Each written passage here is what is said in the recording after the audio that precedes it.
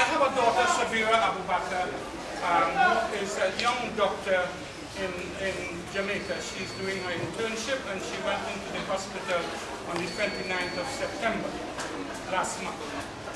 Um, tomorrow I will be 73 years young, inshallah, if I live. And uh, my children said, why don't you go and take a little holiday, uh, Abu? You, you're overworking yourself. So go to Jamaica and spend a little time with Sabira for a couple of days. So myself and the mother of Sabira, uh, Sister Atia Abu Bakr, and my son Fuad um, Abu Bakr, we went to Jamaica on Wednesday. On my arrival in Jamaica, um, we were unceremoniously ushered out of the, the, the plane by a number of um, security officers, immigration officers and police officers and brought into a holding area. We were then informed uh, that we are not allowed to enter Jamaica because we are considered a threat to the national security of Jamaica. I sought to inquire where from did this information come from because it is my first time in Jamaica and I have not committed any offenses in Jamaica. So how am I now debarred from entering into Jamaica because of um, security reasons, because I'm a threat to the security, the national security of Jamaica. I further informed them that I have been traveling to and from um, uh, Grenada because my daughter was first in, in the university in Grenada and then she transferred to Mona was finished her first degree. And I informed them that I was traveling to and from Grenada and there was ne never any hindrance to my coming to Jamaica as a CARICOM country. And now this is a surprise to me. So they said, well, this is the information that they've had, that I am a threat to the national security, and so I will not be allowed. Well, I sought to, um, to clarify this matter, because they just give me a, a paper saying, under the card come CARICOM agreement 4-1, you know, I'm not allowed to come in. I said, well, what is 4-1? Let me know the wording of 4-1. And they could not present me with that. Um, I wanted not to misquote me. There was an inspector of police who was doing the interrogation and a custom officer. The inspector of police, very, very professional. Make of I said. He was very, very professional. He was not rude. He was not loud. He did not shout down at me. He was trying to understand from his position and from my position how this matter could be resolved. After a lot of toing and froing, him going backward and forward and calling people, about an hour, he came back with a smile on his face. And I myself, obviously, I had a smile on my face. I said, he's a bearer of good news. And he was a bearer of good news because he told me, look here, I've done all that I can to stop that. And your wife and your son is allowed to go, but you will not be allowed to Jamaica. I said, well, rephrase that because I'm already in Jamaica. Yeah? So rephrase that. He said, yes, but you, you uh, will be detained here and you will be put on the next flight. So we stayed there talking to some people while I guess the flight is being prepared and then talking to some people. And then I spoke to a particular official and asked him, Jesus, what is all this? He said, why? You know, I don't know what this about. It's about not having nonsense, right? Because your man a Gavia, the own and you can see why you can't come in a territory. Farrakhan come here to organize a whole 10 million man march. And them not stop Farrakhan. Farrakhan here now. And the Farrakhan meeting with government minister. Farrakhan want to slip and say anything he want. And Farrakhan here now to do that. Farrakhan not debar. Why they debarring you? So I him, well, you must have some other reason. This is a high official. Said, boss. Quiet. Hello, quiet. Stop the sale. Now, don't misquote me now. Said, boss, the Jamaican attire government are piss off. I said, not on me. Why? Last week, them a hold some Jamaicans, send them back home. And them are not give them no phone call.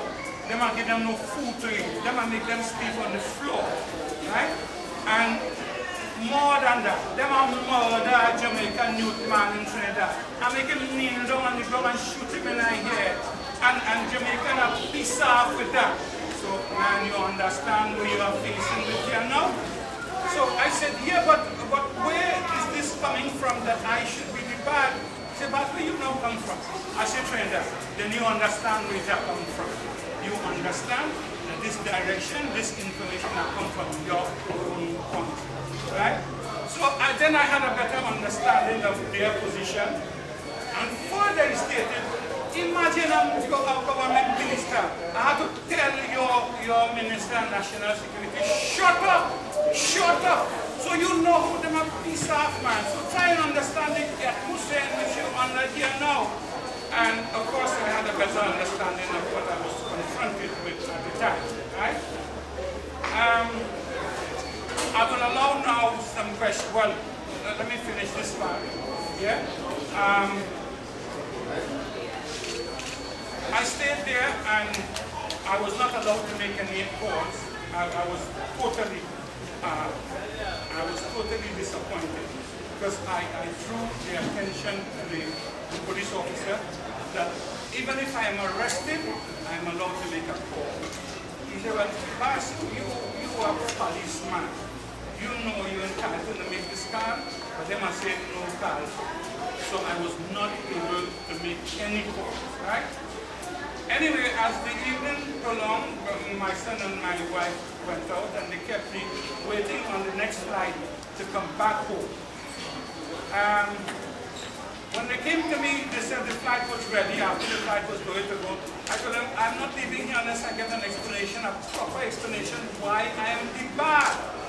Then they say, well, does, if I say if I commit an offense, then arrest me and take me to the court and let the court say I have committed an offense in Jamaica. They say this is not court, this government policy, and your government policy, and they put the handcuff on me to take me to the, to the plane.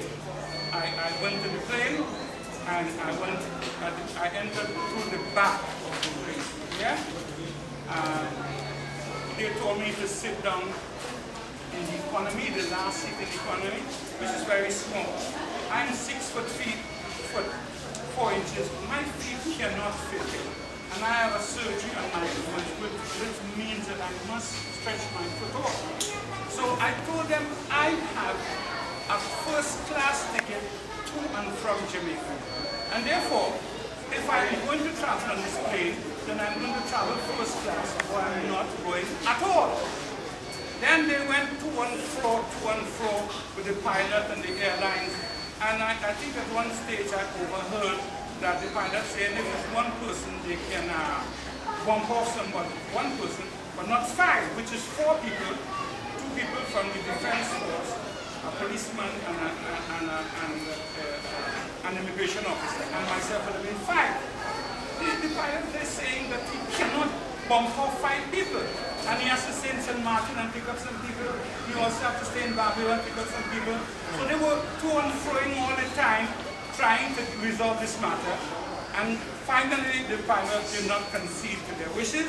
He said, close the hatch because we have to leave because people have to make connecting flights. And then they say, sit down. You sit down right there and I say, I said, no, no, no. I'm not sitting down right there at all. I'm sitting down in the first class because I have a first class right? And then they said, when I said, you say you must sit down right there.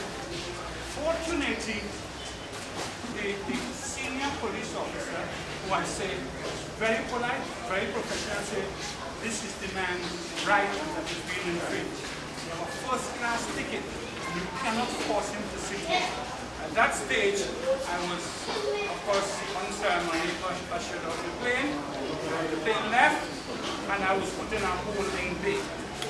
Um, they just left me there, and I saw nobody at all. I, I, I made my prayer. I made my prayer, and then uh, after that, I, I asked my God, you know, give me a way out of this because there's nobody to talk to. There's some Chinese in some dark rooms there, but I'm sitting in, in a comfortable room. There are many chairs, and I'm sitting there by myself. There's nobody to talk to. A police officer came and stood by the door, and that was it. And then as soon as I was finished my prayer, in come the answer to the prayer, America. The I have since then made a prayer that I wish the government could have more people like the woman who strode into that room. Her name is Dr. Iva Gloudon. And she walked into the room and said, ma'am, what are you doing here? And then I proceeded to explain her. She said, are a citizen of Trinidad and Tobago and I am the High Commissioner. And I'm going to see that this thing is, is made right. And she's very well connected in about 20 minutes, she had the assistant commissioner of police present. She had a lot of high-profile people. She was on her phone, I think the prime minister. You know, she was talking to the minister of national security. She was talking to the people to find out what is the situation here and what has to be done. And then after a lot of uh, to and froing, to and froing, she said, did you get anything to eat? I said, no, I had nothing to eat. And also I did not, I am protesting formally that I was not allowed to make a phone call. I complained to the commissioner of the police. And then he said, well, okay, you know how things are sometimes you will be allowed to make the call now to the daughter. And he allowed me to make the call through the High Commissioner. And she was very, very, very good. She said, the man cannot sit here because the man has an injury to his leg and he has a hypertension and he's also a, a diabetic case and Lord provided no food for him get some food for him now. And furthermore, he don't eat no meat, so get something with some fish. And they went and they got some fish and some peas and things, which I, I just nibbled on because I had to take my insulin. And then she stayed there with me until she said the flight had, the agreed, the Trinidad government and the Jamaica government had agreed to fly me back home by a private jet. Right? So um, they said the jet was going to leave. Um, the, the, jet was going to leave um, 7 o'clock, right? So I said, well, it's just a few hours to 7 o'clock. I went and I, I, made my prayer. They allowed me to make my prayer, to worship and make my prayer. And when 7 o'clock, she was still there. And there was no flight. And then I went to 10 o'clock, and she was still there, and there was no flight. And then by that time, she said, listen, this, put the imam in a hotel, you know, where he can lie down and rest because he cannot stay here. I will not let a Trinidad Tobago stay here under these conditions, especially because of his uh, medical condition. Put him in a hotel, that is statutory, you have his class, but he can't fly with wings. And then they said, well, they don't want me to leave the, the airport, so they, they took me into a room with two beds, and I was able to lie down. Um, I want to make mention of this, and I hope you mention. When the, the Assistant Commissioner Police came, a, a woman, and she is, I, I, would say, more than 50 years, she's not a young woman, she came, and I think she might have been assigned to stay and make sure everything was all right.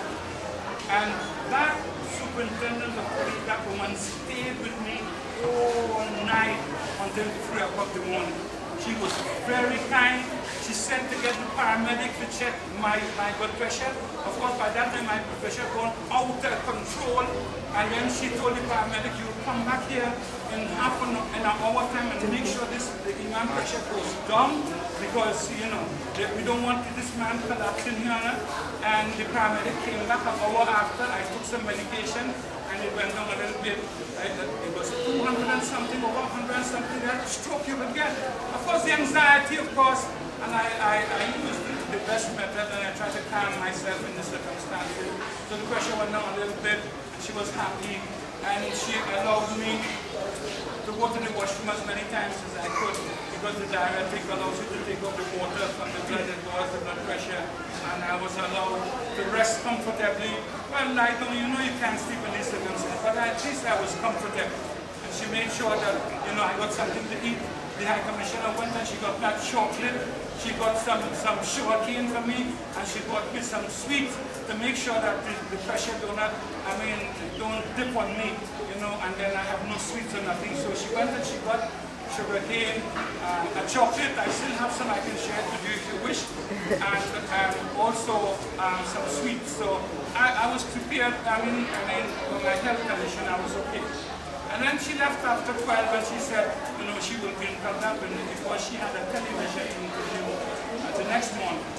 And so every hour on the hour she would call the superintendent, the superintendent would bring the phone and say, speak to your high commissioner. And she was on the phone with me until 3 o'clock in the morning when I boarded that plane. So a special, special thanks to the commissioner, to the, the inspector of police of Jamaica who was very, very professional. A special thanks to the, the, the woman superintendent of police. And uh, I don't know, friend, you have one good high commissioner, you have Mrs. Gloudon. She is, she is a real, real ambassador.